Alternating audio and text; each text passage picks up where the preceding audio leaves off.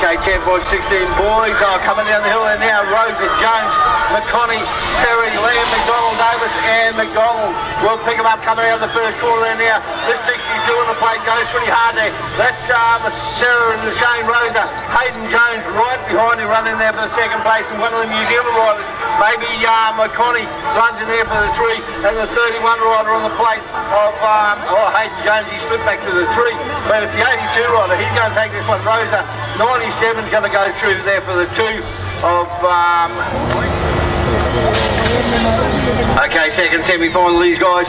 Marito, Cunning, Zard, Fletcher, McCready, Millington, Harvey, and Tahiko. Running well, we lost one, two in the first corner. Unfortunate for them guys. It's the um, 18 Jace Cunning, I believe, running around there in the front of the pack at the moment. We'll pick up, no, it's not, it's 1A. Cunning go back there for the, oh, he's way back. He's back in the pack. But the 1A rider, um, that's uh, Brendan Tahiko, Tahiko. He's going to take the lead in this one. 73 runs in there for the two of um, and the